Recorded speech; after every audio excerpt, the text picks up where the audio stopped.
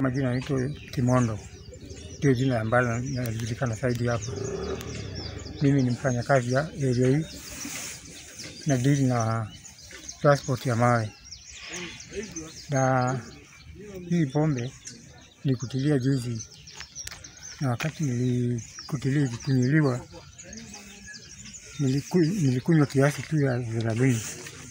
Wakati nitumia hiyo pombe juzi, jana nishinda poa nikafanya kazi, lakini masaa ya jioni jioni nilianza kusikia mwili imelegea legea, na wakati nifika safari kuelekea nyumbani kitu saa moja kasoro hivi, nilifika mahali na nikatapika safari, safari mbili, na sahizi vile unasikia nikiongea, nisikia na vuma vuma kwa, kwa roho na hata wakati nimesikia asubuhi kuamka, nikasikia kama hangover, ni kama mwenye alikunywa jana, na vile niliamkia asubuhi nikasikia sina nguvu hata, na macho ikawa haioni mbali, naona tu karibu, lakini mbele yangu kama mita mbili hivi, mita nne naona giza.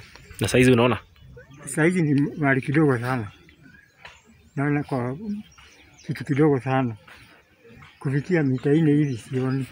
mm -hmm. E, Sasa nimeenda mpaka kwa hospitali, nimepimwa na nikadhibitiwa, nikaambiwa niende medical, niende hospitali niingie kwa macho.